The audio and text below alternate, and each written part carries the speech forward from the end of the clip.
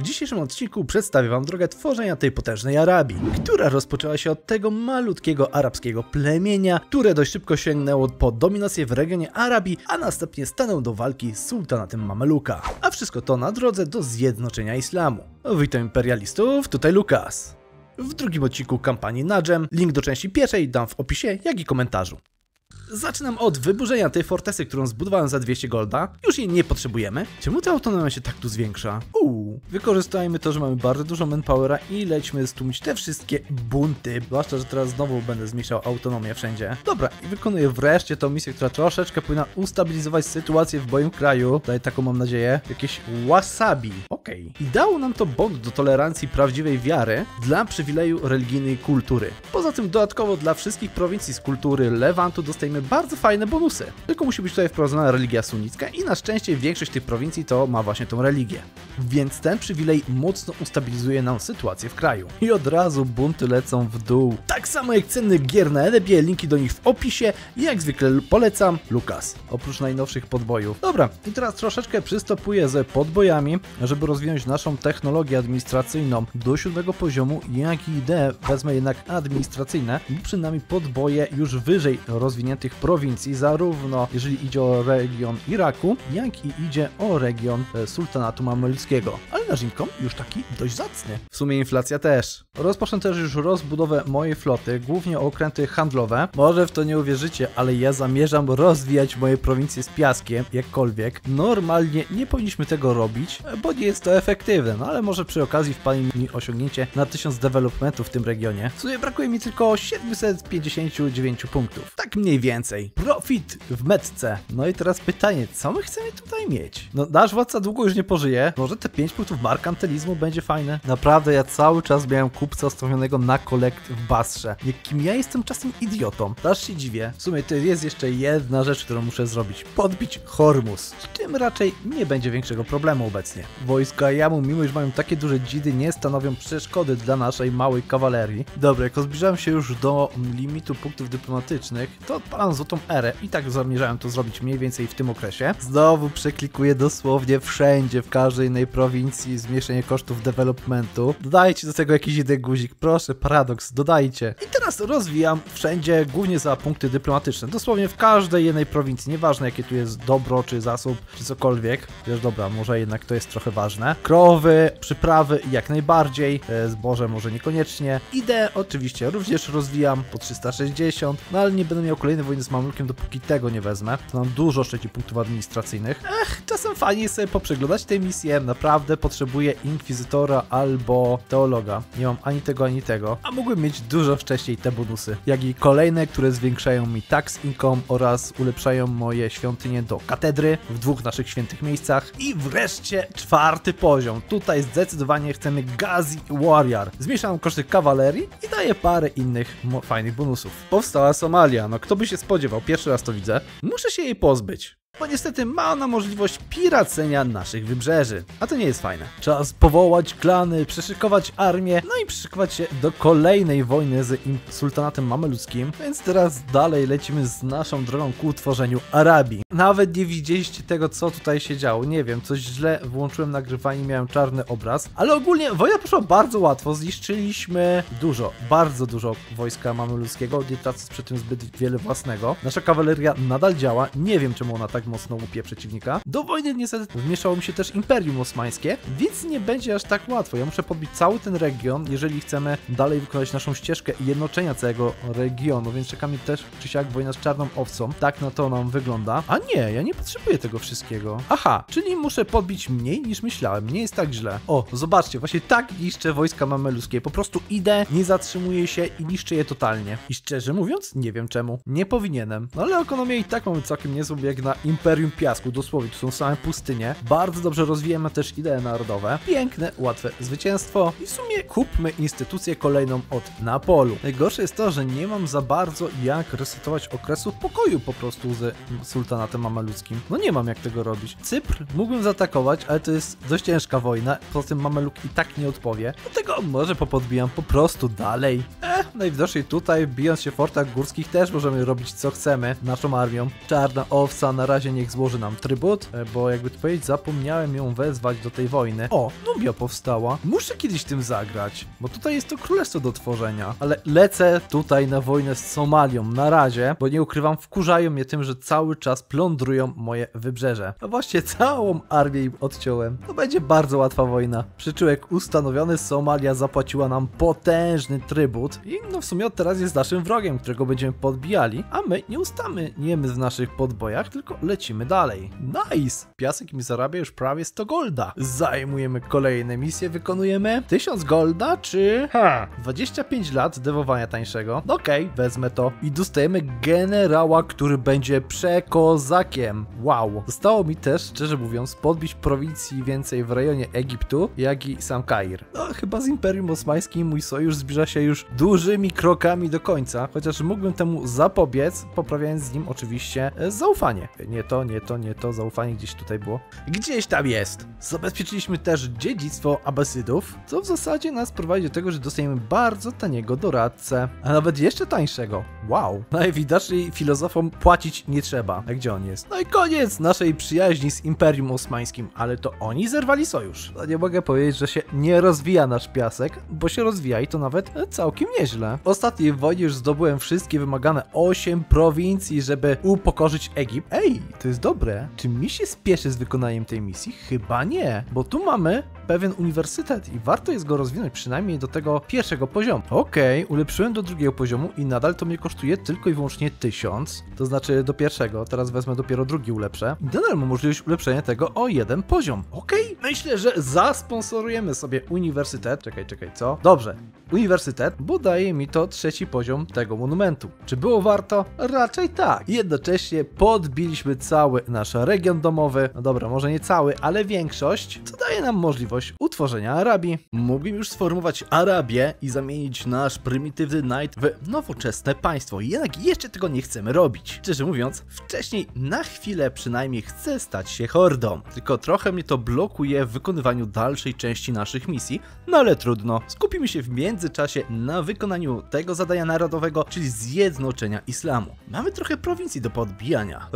Rozpoczniemy od uderzenia na naszych przyjaciół z Imperium Osmańskiego e, przy pomocy Polski, która będzie, wiecie, stanowiła tarczę, która przyjmie uderzenie osmańskie. Jednak w pierwszej kolejności robię uderzenie na Białą Owsę i będzie ona stanowiła taki kraj do resetowania okresu pokoju z Imperium Osmańskim. Polska jak na razie spełnia swoje zadanie. O, Shivran jest wasalem Imperium Osmańskiego? To mnie zdziwiło. Na razie naszym sojusznikom idzie niezbyt wesoło, a ja rozpoczynam dopiero mój atak na Anatolię. A, zagapiłem się, zagapiłem się, ale nasze posiłki już nadchodzą. Ej, tak dalibyśmy radę Imperium Osmańskiemu. Ale ich bijemy. W sumie to muszę zwiększyć moją armię. Sojusznicy osmańscy płacą nam wspaniały trybut. Rozpoczynam też budowę mojej floty śródziemnomorskiej. To jest najwyższy czas na to. Będzie się na nią składało około 30 galer, trzech okrętów ciężkich, no i jakieś okręty transportowe, jeżeli będą nam potrzebne. No i niestety Polska zapłaciła cenę za wsparcie nas w tej wojnie, straciła kamieniec podolski, ale jestem gotowy zapłacić tą cenę. Większa bitwa i zobaczcie Imperium Osmańskie jakie dostaje straty na fazie szoku, czyli kiedy nasza kawaleria uderza na przeciwnika, no przynajmniej trzy razy większe od nas, a niedługo statystyki naszej kawalerii będą znacznie lepsze. I to jak bez problemu niszczyliśmy poprzednio sultanat mameluski, teraz niszczymy sultanat turecki. Albo Imperium Osmańskie? Nie no, Imperium Osmańskie. Uuu, jaką piękną armię przechwyciliśmy bez dowodzenia! No i dzięki temu powinniśmy zadać duże straty przeciwnikowi, no chyba, że będę miał takiego pecha w rzutach kostką. No niby mam za dużo kawalerii w armii, ale kto by się tam naprawdę tym przejmował, bo to wpływa tylko i wyłącznie na naszą taktykę, a taktyka wpływa na to, jak dużo obrażeń otrzymujemy, a my skupiamy się na tym, żeby zadawać ich jak najwięcej i ulepszamy nasze koniki. Wojny nie przedłużam, zdobywam resztę terytoriów z Aleppo, praktycznie wszystkie, bardzo dużo pieniędzy oraz wojenne reparacje. A i tą prowincję, żeby mieć teraz przejście w kierunku Tunisu i Margrabi.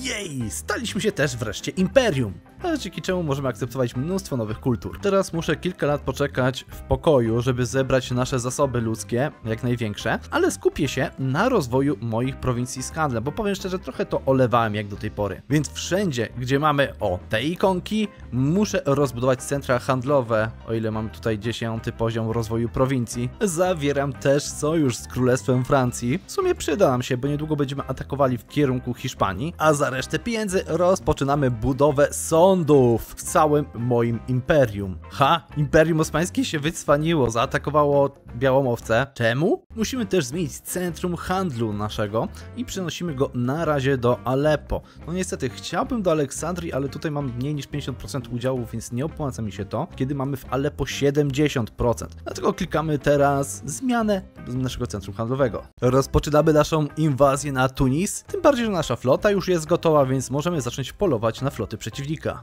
W międzyczasie też atakuje Ayam oraz Białą Owcę. Pięknie, niszczymy całe armię Owcy i Adżamu. Desantujemy naszą konnicę na Sycylię. Chciałbym podbić więcej od Aragonu, ale no niestety groziłaby nam zbyt duża koalicja, dlatego podbijam to wszystko, co potrzebuję, czyli Maltę dla monumentu, tutaj te trzy prowincje do zjednoczenia islamu, no i wybrzeże, bo wypada sobie robić ścieżkę. A, tylko, tylko, tylko, tylko, tylko to kacuję, bo mogę zreformować się po prostu w hordę w tym momencie, co też robię. Co prawda powoduje to, że mamy pewne problemy społeczne w naszym kraju, ale są one przejściowe, dopóki nie wybiorę idei hordy. Ale dzięki temu mogę palić te wszystkie nowo zdobyte prowincje, gdy były rozwinięte, a są biedne niestety. I za chwilę tak naprawdę wrócimy albo do monarchii, albo do teokracji i następnie będziemy tworzyli Arabię. Chyba, że mogę ją tworzyć. Mogę ją tworzyć w dowolnym momencie, ale dzięki tym zmianom w tym momencie możemy mieć 100% kawalerii naszych armii. No prawie, za chwilę będziemy mieli 100%, ale jesteśmy już bliżej niż dalej. Teraz, kiedy zmieniliśmy się w hordę, mamy bardzo dobre Casus Belli, jedno z najlepszych w grze. Tribal Conquest. O, wojna z Somalią, jak miło. No dobra, to nie. I mamy totalny upadek sultanatu Mameluka. Podbijamy wszystko. Dobra, sformujmy już Arabię, bo okazało się, że nie muszę z tym czekać. Wraz z założeniem Wielkiego Emiratu Arabii, flaga arabska dumnie wznosi się nad światem muzułmańskim. Tak wielkim święcie pojawiło się pytanie, czy stolicę naszego nowego państwa należy zmienić na bardziej odpowiednie miasto naszego Wielkiego Emiratu. No i mamy tutaj dość spory wybór. Jako, że planuję zrobić to osiągnięcie The Desert Power, to raczej będę chciał zostawić naszą stolicę w regionie Arabii. Chociaż docelowo najlepszy byłby Kair, z tych prowincji, które są tutaj na liście. Dlatego na razie jeszcze naszą stolicę zostawiam w Katarze. Zdecydowanie najlepszy region Arabii. Kolejna sprawa to wybór nowych idei narodowych. W sumie Nacz ma całkiem niezłe te idee początkowe, jednak Ma znacznie lepsze